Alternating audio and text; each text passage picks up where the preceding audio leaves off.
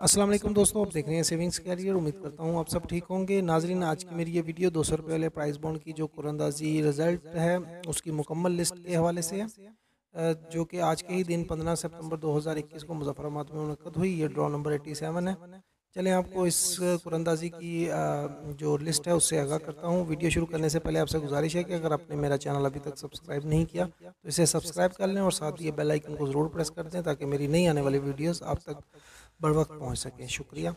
नाजरीन, मुकम्मल लिस्ट में आपके साथ शेयर करूँ। आप इसमें अपना प्राइस बाउंड चेक कर सकते हैं।